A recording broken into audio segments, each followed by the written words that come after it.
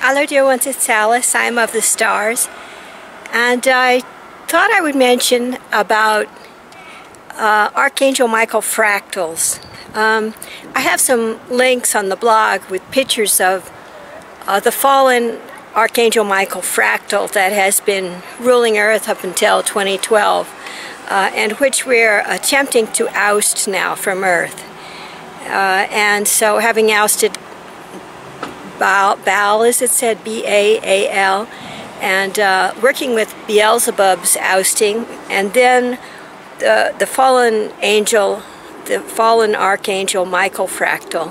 Um, I just, I feel right now that it's inappropriate and not useful to, to have or pictures or to put up pictures at home that involve this, this dark image of Archangel Michael such as is seen on the um, in the mass media right now and so forth.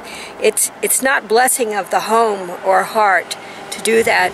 It's it's important if you align with Archangel Michael to use the brighter, lighter images of, of, of him in, in, in the aspect that he had before the fallen fractal came to help with uh, the organization of, of fallen earth some long time ago.